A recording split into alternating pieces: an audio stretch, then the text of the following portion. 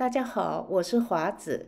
现在我带大家来看一看我的育苗进展情况如何。我这里是美国华盛顿特区，我是从二月份开始陆陆续续育苗的。我们先来看一看放在室外的大盒子里面的苗。这是金鱼草，这两盒还可以，但是到了这里来就不行了。这个小盒子里的苗被雨水淋得湿透透的，因为我这个盒子的盖子上打了一些洞，雨水就是从这个洞里面淋下去的，有些小苗就被淹死了。这是花毛根，这个花毛根还可以。它没有被雨水淋到，长得还不错。这个里面是小白菊，小白菊出苗的情况很好，但是也是被雨水淋得七零八落的。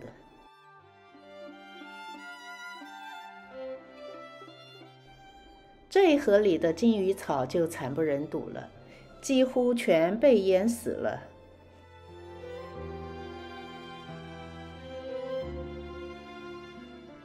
这一盒的金鱼草还可以，它没有淋到雨，长得还不错。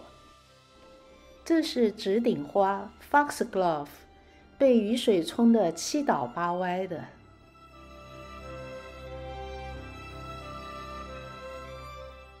这一盆的直顶花倒是没有被淋到雨，但是因为我有几天不在家，没有给它浇水，也几乎被干死了。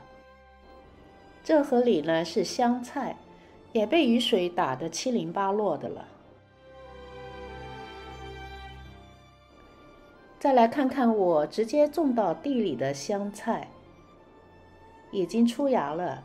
这是我在最后一个霜冻日的前两个星期种下去的，所以呀，香菜我觉得还是直播的比较好，长得比较健康。这个大盒子的盖子上，我打了不少的洞在上面，其实是没有必要的。你只需要把这个盖子啊打开，留一道缝让它通风就可以了。过会儿我会用胶带把这些洞封上，只留两个洞眼就可以了。现在再来看看放在室内的小苗。这些呢是百日菊，出苗的情况还蛮好的，但是好像有点太细长了，成了高脚苗了，估计是光照不足。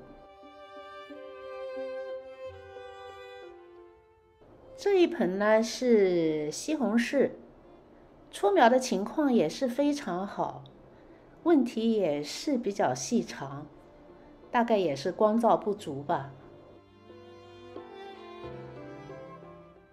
这个呢是大丽花，出苗情况也很好。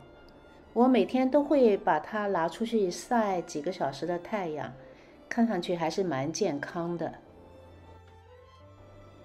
这一盆呢是星辰花，我种了两盆星辰花，一盆放在室内，一盆放在室外。